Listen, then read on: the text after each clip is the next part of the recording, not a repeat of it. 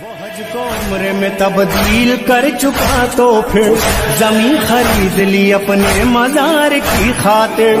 चला वो छोड़ के किस बात पे घर? मेरे हुसैन के मकसद को मगर। सैन जाने